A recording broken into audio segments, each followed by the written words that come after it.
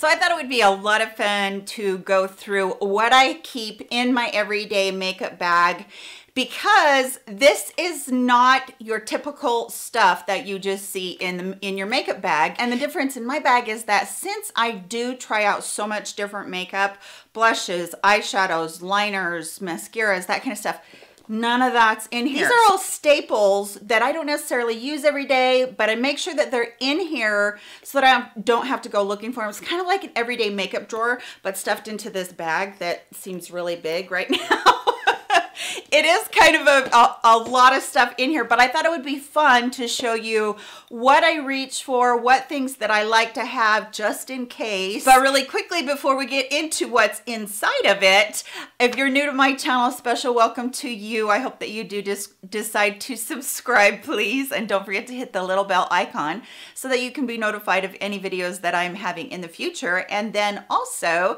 if you wouldn't mind giving this video a thumbs up, everyone, it does help my videos out a lot. And now that that's said, let's get into what I've got inside of this bag and what it's stuffed full of. First of all, this bag is from Pixi Beauty. It was sent to me as a part of PR. I absolutely loved it because it was the lavender purple color. I wish that they would put it out as part of their permanent line, but I do know that you can get these bags, this kind of bag just about anywhere. Okay, so first thing when you open it, right in between it, I zip into it my mirror. And this is my portable mirror. And I use this every day and you would think that I would use something that would be on this vanity behind me, but really, I really don't use this vanity very much um, because my place is really super small. Usually what I end up doing is just doing my makeup on my bed um, because the vanity kind of gets, the chair kind of gets in the way unless I'm filming. So long story short, I keep everything in there like an everyday makeup drawer. So this is my mirror. I'm not going to blind you with it, but it, this is a big mirror. It is the same size as what's here, and I can't cover it enough to, well, I guess I can a little bit. Okay, so it's a huge mirror. Look, my hand goes to the top of it, goes way past my wrist. It's a big mirror. It's probably a I would say it's probably a seven by nine mirror and it's beveled on the edges. It's a little bit thicker. This is great for travel because it is very compact, very slim. You can put it in anywhere. And then when you do travel, if you need the easel part of it, it does stand up. So love this mirror. I got off Amazon. Everything that I show you should be linked in, linked in the description box below. All right, so next thing in here I can't believe that I'm doing this. First of all, these don't stay clean. I don't know if you guys have the same problem, but they don't stay clean and they're just a mess. So I do wash them, but I haven't washed them for, for a little while. The first thing that I'm gonna pull out is wipes. I just buy the wipes that you get like at TJ Maxx or anywhere like that. Mostly I don't use my wipes for taking off makeup, but if I do get a little mess up, I'll pull a wipe out, I'll use that. And I always use these when I film too to take off swatches. So I always have wipes inside of there. And then you guys are gonna think I'm absolutely crazy, but I have a ton of primers in here. Now, let me tell you the reason. I do try out different primers all the time, but I also use like three or four primers on my face, which is high maintenance. Yes, I know. But what I do with them is different things that I feel like do different stuff for my face. Okay, first of all, if you're an oily gal, you want to perk your ears up because this is a really good mattifying primer from L'Oreal. It's their infa infallible matte primer. And I use this around my nose and around my chin right here and you know anywhere I feel like I'm going to get breakthrough. So that's kind of my T-zone which is right in here. I get a little bit of breakthrough as I sweat and as it becomes summer. So I use that. So if you are an oily skin girl, you're going to love that. And then I've been testing, this one is from Fenty Beauty. This is their Pro Filter. Love this stuff. This is very blurring, but it's very light and it doesn't feel like the heavy dimethicone ones. I'm sure that it does have a little bit in it, but it just kind of perfects the skin. I actually really, really like this, and I think I'm probably going to purchase the big size of it, but it just seems to just give me a really beautiful, soft canvas, blurs out all these big pores that I have so that the texture is less noticeable on my mature skin. And then this one I bought very recently. This is Hard Candy Sheer Envy Hydrating Primer, 12 Hour Makeup Grip plumps, moisturizes, and perfects. This is a little bit of a jelly formula, so it's not really, I don't even know if you're gonna be able to see it, but it's just got this hydrating property to it and I really, really like it. It just seems to sink into the skin and it does have a little bit of a gripping property to it. So this is one that I've been testing out for a while. Doesn't feel sticky though. Uh, testing out for a while and I do like it. It's very light if you are in the summertime you're dry but you get a little bit more like I do you get just a little bit more on the normal side of skin because you sweat or have menopause or whatever going on this one's really good and then I got one heck of a blot in here I think I've talked about this a lot this is again another mattifying one that I'm testing out with the L'Oreal one I don't know I just put the, these extras in here so I can test them out. Again, this is one that keeps you really, really mattified and, you know, it would be like using a blotting paper is what they're talking about. And this, these two I have in here. This is the Lormi, this is the L'Oreal Lumi Glotion and then the Becca Backlight Priming Filter. And I put these in as dupes. Today, the Lumi Glotion is what I mixed in with my foundation. And that's actually what I do is I kind of am trying to use this, the Becca because I've had it for a while and I really do need to use it up before it goes bad. So I, I love this one. I think a little bit better because I think it glides across the skin a little bit better than the Becca. But the Becca has its place too good dupe. I think I showed that to you guys in a video very recently. I always have in here my two color correctors from LA Girl. These are the Pro Conceals, but they're the correctors, and I have peach and I have green. If you're a darker skin gal and you have bad um, under eye circles, go for the orange. It would work really good for you, but the green works really good for me as far as how uh, red the redness I get right here on my cheeks, and if I get any breakouts, which I have menopausal breakouts right now, which is driving me crazy. You do have places on your skin, say like um, dark spots. The pink is really good for that. Or if you have dark skin, the red is really good for that. So those are invaluable to me and I use them all the time, especially when I get breakouts for that green. It just helps so much to hide the imperfections on my skin. And then I carry around these three correcting pigments for my foundation. But this one I use as a mix-in medium for my foundations as I'm getting a little bit more self-tanned and my foundations are way too light. This is a really good color to mix in. It doesn't add too much orange. It's just a really good color. I don't even know if you can get this anymore. I've had it for quite a while, but I mix it in and it just does the trick really well. And then the ones that are too dark, I use the LA Girl Pro Coverage HD uh, long wearing illuminating foundation and I really do like using this it mixes in with all the foundations I have and it doesn't go very matte and I really like that about it but the blue as you can see the blue is the one that I use the most because any orange or yellow foundations and I'm a very cool gal I will use this to mix in. I do have so, a complete tutorial on how to do that so I will link that for you as well but yeah this is one of my saving graces is the blue mix in medium or the yeah the foundation foundation mixing pigment from LA Girl. So if you've been somebody that always finds the orange ones, that was me. I always found the foundations that were yellow or orange and this just really has saved me a lot of money in the long run. So love using that. You guys are gonna think I'm absolutely crazy and my three sprays for my face. All right, so the Max Fix Plus I use to spray my makeup sponge. By the way, I do keep a makeup sponge in here at all times. It is what I use to put on my foundation and my concealer and my powder. So that is in there at all times. But I usually, I not usually, I always spray with Max Fix Plus or a primer spray. Hard Candy has a really good primer spray. Um, there's all kinds of companies that have a primer spray. You don't need one, but look for them that don't have alcohol in them because that's gonna dry your foundation out even more if you're using that to lay down your foundation. So yes, I do have that in there all the time. This is not a setting spray.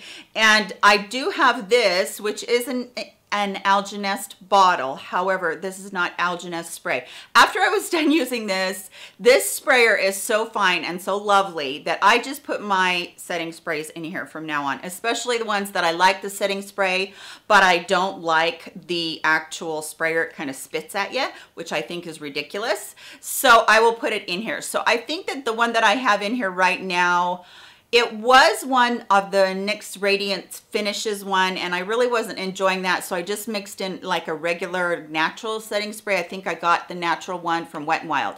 So that's what's in here right now. Just love this sprayer. And then this one is from Flower Beauty, and this is my final one that I use, and this is their Illuminating Setting Spray, Seal the Deal. And I love this stuff. It's so much like the L'Oreal um, Glow Spray. I have that one too, but this is a much better deal, and it's almost the identical product. So yeah, you get a lot more in here. All right, I feel so weird in showing you guys all this. You, this is actually a lot. I know that it's a lot. I'm not trying to tell anybody to go out and get all this, but this is my job too. So I kind of feel like, you know, as I test things out or as I have my favorites, they get stuck in my bag and that's where this lives. And this is the Lancome Absolute Powder in Absolute Golden. This is the most beautiful finishing powder I've ever seen. I continue to look for a dupe for it, but there is really no dupe for it, you guys. Honestly, it's just a beautiful, ethereal, gorgeous, like just perfecting powder and I use it as my last step before I put on the glow spray and yeah there has been nothing that I have found that really is comparable to that not even the hourglass ambient setting powder or lighting powders those are beautiful, but I still like this one better. And it just, it has to live in here because I love it. And yes, I do continue to look for a dupe for it. And I'll tell you that the Milani Prep Set and Glow, it's really close as far as a dupe for it. It is a dupe for the Hourglass ones, 100%. I use this one more to set my under eyes since it is a little bit more on the matte side with just a tiny bit of glow in it. And it's just really kind of a perfecting powder. So I love that one. That one lives in there too. Right now, I am in love with the number seven. This is the Lift and Illuminate Triple Action Translucent, Translucent, Translucent finishing powder. And this one is in light. I really love this you guys. I think it's one of the best powders i've ever used. And I don't know where number seven's been my whole life, but I am totally over the moon enjoying number seven. And then this is the Pat McGrath one. And honestly, I'm not super impressed with this, even though I do like it. It's okay. It does have a tendency to dry me out just a little bit too much under the eyes. So you have to go really super light-handed if you have creasing underneath your eyes or dryness under your eyes be real careful about this. I did put this in a dupes video that the e.l.f. HD finishing powder is a dupe for this. And it is, I just happen to be wanting to use this up because spent my money on it. Don't want to, uh, you know, go, let it go to waste. Okay, couple of the tools that I use. I always have a fan on hand, which right now, Holy Moses. And one of you lovely subscribers sent me this beautiful fan. I absolutely love it. Anyway, so I always have this on hand either to dry my face after I use my setting or finishing powder or just when I get a stinking hot flash or it's just way too hot in my room, which it is right now. And I just I've used one of those for years. And then now, I have a Kevyn Aucoin eyelash curler. My Shiseido one um, that I swear by, the little um, rubber thing right here wore out and I'm just waiting for a replacement. But this is the Kevyn Aucoin one and I like it as much as the Shiseido one. But I think the Shiseido one is quite a bit less expensive and it does the job a little bit better. It just has a, less of a curve right here. And I think that is really the key why that one doesn't tug on your lashes. This one doesn't tug very much either, but I don't think that it curls as well either. So like that, um, this is something that I think that you would want to invest in. And a good eyelash curler, I mean, you can go through 15 at the drugstore and feel like they're pulling your eyelashes out all the time. Why not spend the extra 10 or $15 one time? It's not gonna tug on your pretty lashes. So I feel like that's really important. And then of course my Sephora guide tape. I did try the e.l.f. one and the e.l.f. one would not stay would not stay stuck onto my eyes while I was doing my eye look. So this is a must for me. I have several backups. When they come back in stock, I order like three at a time because I never want to be without this stuff and I love it. Um, if you haven't seen me do the tape before, go back and look at my seven looks in one palette, the Sydney Grace one, and I use tape in almost every single one of them. All right, so we're getting down to the last here. Oh, here's another thing that is invaluable, and sorry because it's dirty and full and yucky. but this, I believe this one is from Revlon. Wait a minute. Nope, this one is from Maybelline. So this is a duo um, pencil sharpener, invaluable. But what I like about the Maybelline one is it will have this, um, I don't know what they're called, insert on it that will adjust the size. So if you have a smaller pencil, jumbo pencil, you can put that in there. You have a really big one, you take the insert out, you can do the bigger one too. So I love that. This has lasted me forever. I really like that it has the guards on both sides. And then it also does have this little tool right here on the end of it, which I love that you can pick out all of the little crayon that gets into that so you can get it really, really clean when you're ready to clean it. So, sorry, mine wasn't clean. I don't have a favorite tweezer. I am, uh, I'm on the hunt, guys. So if you guys know of any that are just fabulous, would you please let me know because I would love to know that. This lives in my bag because this is probably the best eyeliner I've ever seen. This is Black Black. This is the Waterproof Physicians Formula Eye Boosters. It's supposed to have an eyelash growth serum in with the actual waterproof formula of the eyeliners. So I think that's great. I love how pointed and how easy this is to use. It's just really fine and I use it to only go over my lash line on the top and just super, super tight line in the eyelashes and just really find that it really works well for me. This type of one works good for me because of the shaking of my hands and I can just use it and not have everything move around and wiggle and make a mess like I normally do if I use a regular one. And then I have two eyebrow highlight pencils, but my favorite truly is the Wet n Wild one. Wet n Wild one. I'm just trying to use up the Benefit Highbrow. This doesn't have any glow in it.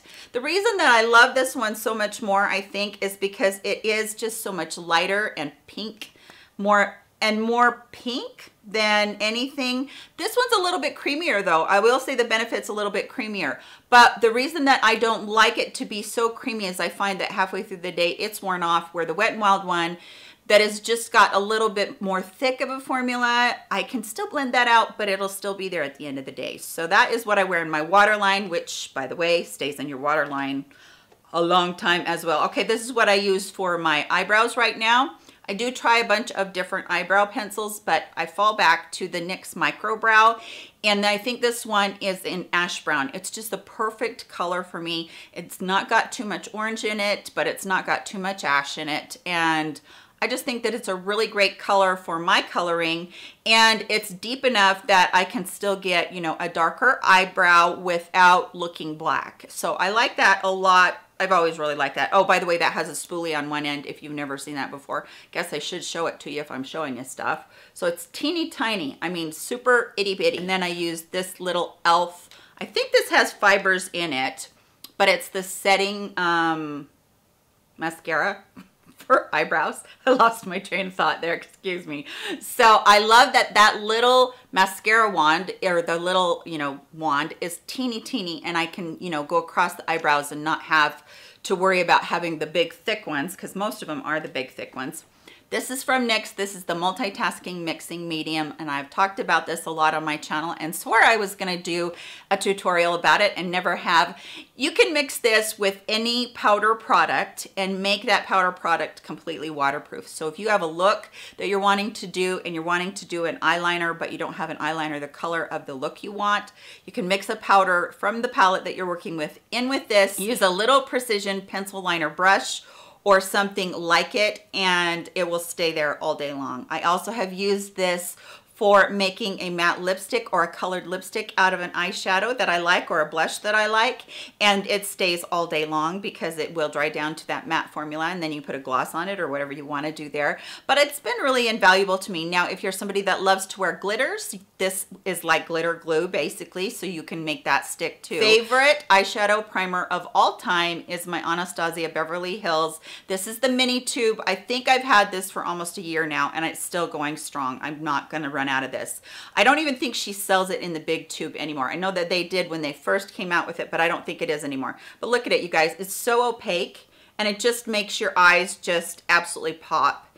And so if you're somebody that you know, has a lot of redness, a lot of darkness, and you can't seem to get a real good look there on your eyelids with your shadows looking like muddy or too dark or whatever, this is gonna help your eyeshadow pop. And for me, that has been so good. And then the very last thing, believe it or not, we're done. the very last thing that does live in here is even though I try tons of mascaras on my top lash line. This is the only one that will go on my bottom lash line because this stuff is not gonna smudge, it's not gonna budge, it's not going to wear off during the day, flake off during the day. This is gonna be there till I take it off at night with my cleansing oil. And it is the Benefit They're Real uh, mascara. The reason that I love it for the bottom lash line, besides the fact that it's gonna be there forever, is it has the coolest, little wand and I'm really hoping that you're going to be able to see it. The wand on the end has these, you know, it sticks up. It's got these little bar, it looks like barbs all over it and it's kind of, you know, just fanned out. And that, when you run it like this along the bottom of your lash line, instead of going like this, I always make a mess with my uh, mascara when I do that. So if I run it like this though, my dog is hitting the camera. if I run it like this though, it is going to pick up every single lash and it's going to define every single lash and it's going to be there all day and I'm not going to have to worry about it. So yes, that is everything in my makeup bag and now it's all out of here and I have to put it back. Thank you guys so much for spending a bit of your day with me today. Please give this video a thumbs up on your way out of here. I would really appreciate that. I hope everybody is doing well. I hope that you're happy and you're healthy. I hope things are going well where you are. We've had a little bit more of an outbreak with the COVID virus um, where I'm at, and it's kind of scary, kind of a second wave. So I hope that your loved ones and you yourself are doing well and that everything is going good for you. I love you guys so very much. Thank you for all of your time and your love and your um, wonderful thoughts that you give me in the comment section. It just makes my day. So love you guys very much. Catch you all in my next video. Bye guys.